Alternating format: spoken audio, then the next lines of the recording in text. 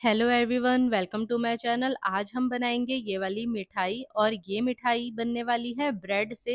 जी हाँ आपने बिल्कुल सही सुना है।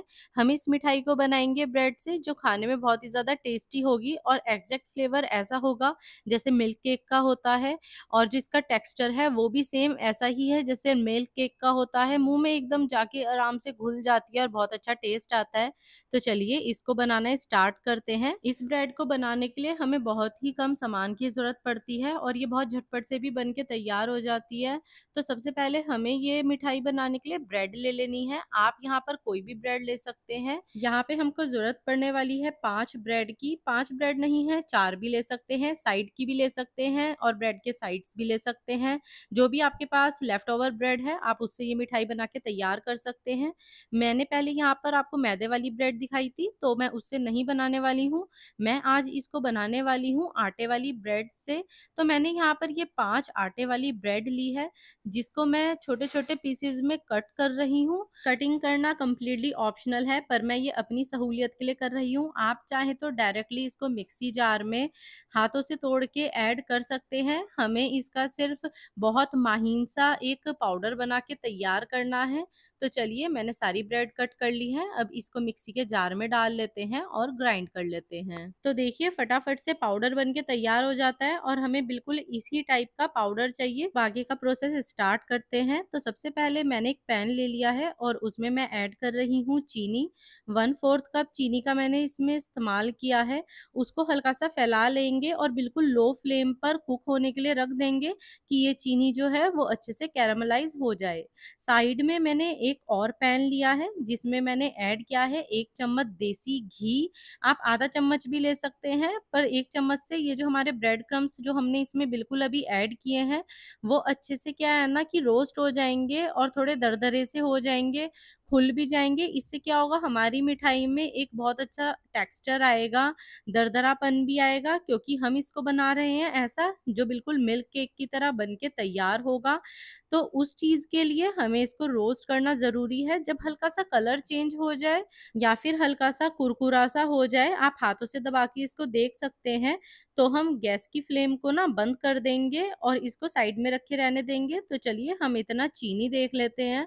तो चीनी अभी हमारी नहीं हुई है कैरामलाइज। इतना हम ड्राई फ्रूट्स को चॉप कर लेते हैं। मैंने यहाँ पर कुछ पिस्ता लिए हैं, दस से बारह दाने। ये अनसॉल्टेड पिस्ता है। चार से पाँच पिस्ता को मैं इस तरह से कट कर रही हूँ और जो बचे हुए पिस्ता होंगे, उनका मैं बिल्कुल बारीक सा पाउडर बना लूँगी, जैसे कि मिल्क केक पर डला हुआ आता है ना, सेम वैसे ही। तो इतना ये जो छोटे छोटे पिस्ता हैं, ये मिक्सी के जार में तो क्रश नहीं होने वाले हैं तो मैं इसको नाइफ की हेल्प से इस तरह से इसको क्रश कर रही हूँ। पूरे तीस सेकेंड में ये बिल्कुल अच्छे से पाउडर बन के तैयार हो जाता है पिस्ता का। आप चाहे तो यहाँ पे अपनी हिसाब से कोई भी ड्राई फ्रूट्स ऐड कर सकते तो पिस्ता मिल्क केक पे पड़ा हुआ बहुत ज़्यादा अच्छा लगता है तो इसलिए मैंने पिस्ता ही लिया है। तो देखिए, इतने में चीनी का कलर बिल्कुल अच्छे से चेंज हो गया है, ज़्यादा कुक नहीं करेंगे, क्योंकि फिर ये जल जाएगी तो मिल्क केक में एक फ्लेवर जो आता है ना, वो बिल्कुल अच्छा नहीं लगेगा कैरमलाइज का। तो अब हम इसमें ऐड कर देंगे एक कप दूध। एक कप से ज़्यादा दूध हमें बिल्कुल भी नहीं लेना है, इस बात का आप ध्यान रखें और इस दूध को अब हम इसमें मिक्स करेंगे। स्टार्टिंग में देखिए, ये चीनी इस तरह से इकट्ठी हो जाएगी, जैसा कि आप देख रहे हैं, पर इसमें घबराने की बिल्कुल भी ज़रूरत नहीं है। जैसे आप दूध को उबाल देना स्टार्ट करेंगे ना, जैसे दूध में चीनी घुल जाती है, ये सेम ऐसे ही घुलना स्टार्ट हो जाएगी। तो मेरी चीनी तो बिल्कुल अच्छे से घुल चुकी है तो अब मैं इसमें ऐड कर रही हूँ ये ब्रेड का पाउडर जिसको हमने बिल्कुल अभी अभी रोस्ट करा था, और हम इसको मिक्स करना स्टार्ट करेंगे। और हमको इसे लगातार ही चलाते रहना है, कि नीचे से ना लगे और बिल्कुल अच्छे से दूध जो है इस पाउडर में मिक्स हो जाए। जैसे कि हम मावे को लास्ट में जब मावा हमारा गाढ़ा होना स्टार्ट होता है ना, हम चलाते रहते हैं, सेम इसको हमें ऐसे ही चलाते रहना है। जब ये बिल्कुल थिक कंसिस्टेंसी में आ जाए, फिर हम इसमें ऐड कर देंगे मिल्क पाउडर। मैंने यहाँ पर आधा कप मिल्क पाउडर का इस्तेमाल किया है। अगर आपके पास मिल्क पाउडर नहीं है तो आप चार से पाँच चम्मच मलाई का भी इस्तेमाल कर सकते हैं, उससे भी इसमें बहुत अच्छा टेक्सचर आ जाता है। तो देखिए बिल्कुल अच्छे से मिक्स करने के बाद ये इस कंसिस्टेंसी का हो गया है। अब ये काफ़ी गरम है तो थोड़ा-सा लिक्विड टाइप का लग रहा है, पर ये इतना गाढ़ा तो हो गया है। अगर मैं इसको मिक्स कर रही हूँ, तो मेरे को ऐसा लग रहा है कि मतलब ये बहुत ज़्यादा टाइट है। तो अब हम यहाँ पर फ्लेम को बंद कर देंगे और थोड़ा-सा ठंडा होने देंगे। तो मैंने यहाँ पर ये कुछ कंटेनर्स लिए हैं, जिसमें हम इस मिठाई को अच्छे से जमा सकते हैं। आपके पास कोई भी कंटेनर हो, तो आप वो ले सकते हैं, जो चौकोर टाइप का हो। आप चाहे तो इसको प्लेट में भी जमा सकते हैं। तो मैंने तो आपको सारे तरीके के ना जो कंटेनर है, वो दिखा दिए हैं। मेरे पास एक ये लंच बॉक्स भी था, तो मैंने वो भी आपको दिखाया है। पर मेरे पास एक ये वाली ट्रे और थी, जिसकी डेप्थ बिल्कुल ठीक थी अकॉर्डिंग टू ये मिल्क केक की मिठाई बनाने के लिए, तो मैं इसमें इस मिठाई को लगाऊँगी तो सबसे पहले मैंने यहाँ पर ओडी इको बेक का बेकिंग पेपर लिया है, जिससे कि ये मिठाई तली पर ना चिपके और बिल्कुल आसानी से बाहर आ जाए। इसकी जगह आप बटर पेपर भी ले सकते हैं। बटर पेपर नहीं है, तो आपकी यहाँ ए फोर शीट जो होती है प्रिंट करने वाली, मतलब जिसपे कोई भी इंक या फिर छपा हुआ ना हो, उस पर आप थोड़ा-सा ऑयल लगा के या देसी घी लगा के भी इसके एंड पर लगा सकते हैं।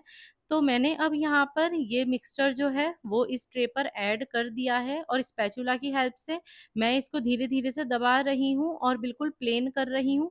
सारा मिक्सचर मेरी इस मिठाई में बिल्कुल ही परफेक्टली सेट हो गया है और सारा मिक्सचर ही इसमें आ गया है। मैं इसको रख दूँगी एक घंटे के लिए सेट होने के लिए। आप चाहें तो रूम टेम्परेचर पर भी रख सकते हैं और फ्रिज में भी रख सकते हैं।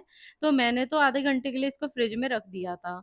तो अब देखिए ये मिठाई कितनी आसानी से बाहर आ गई है बेकिंग पेपर लगाने की वजह से और अब मैं इनको मिल्क केक की शेप में कट कर रही हूँ। तो देखिए मिठाई कितनी बढ़िया बन के तैयार हुई है और इस मिठाई को अब हम गार्निश कर देंगे क्रश करे हुए पिस्ता से।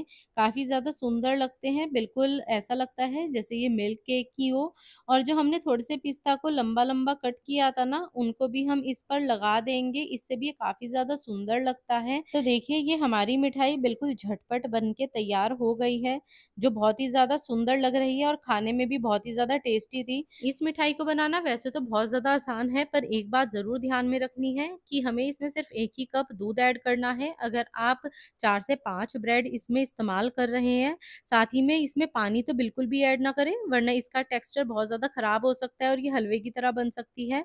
तो अगर आपको ये रेसिपी पसंद आई हो, तो लाइक और शेयर करें, साथ ही में मेरे चैनल को सब्सक्राइब करना ना भूलें। Thanks for watching.